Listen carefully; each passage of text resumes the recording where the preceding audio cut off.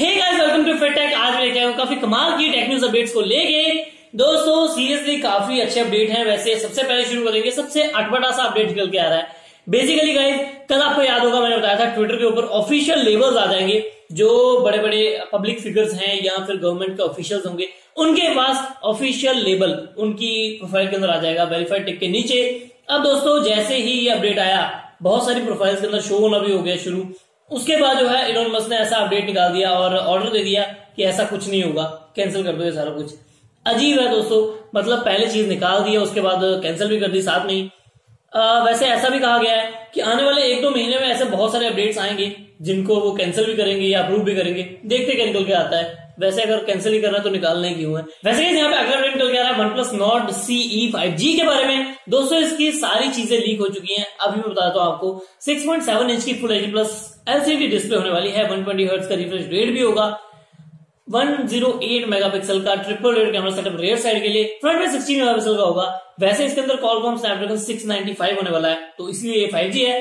बाकी गाइस अगर बात करें बैटरी की तो 5000 थाउज़ेंड की बैटरी होगी 67 वॉट का फास्ट चार्जर होगा। एट जीबी की रैम, ट्वेल्व जीबी की रैम, दो तरह के वेरियंट आ जाएँगे। और मेमोरी भी इसमें वन ट्वेंटी एट जीबी और टू फिफ्टी सिक्स जीबी के दो तरह के वेरियंट आपको देखने को मिल जाएँगे। बाकी देखते हैं कब तक लॉन्च होता है और कितना प्राइस आता है। तो बेसिकली इन पे डिपेंड करता है। बाकी दोस्तों फ़ोन दिखने में काफ़ी अच्छा लग रहा है। देखते हैं कब तक लॉन्च होता है। वैसे गाइस विंडो 11 के अंदर बहुत अच्छे फीचर्स निकल के आ रहे हैं।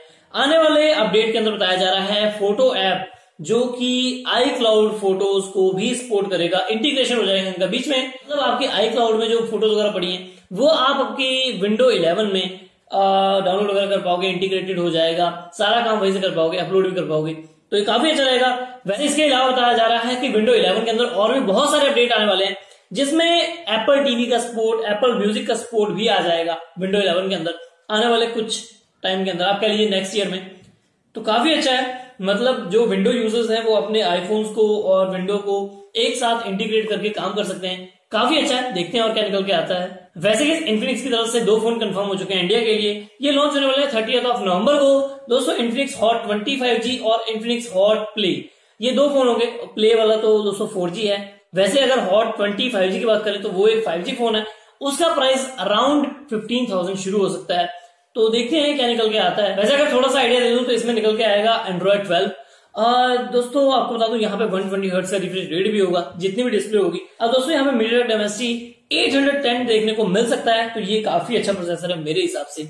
मतलब 15,000 की रेंज में आपको 810 देखने को मिल जाएगा। वैसे सैमसंग की तरफ़ से Samsung Galaxy S twenty three Ultra इसके अंदर कंफर्मेशन मिल चुकी है कि इसके अंदर कस्टम 200 मेगापिक्सल का कैमरा सेंसर देखने को मिलेगा। कहा जा रहा है कि काफ़ी ज़रूरत सेटअप होगा।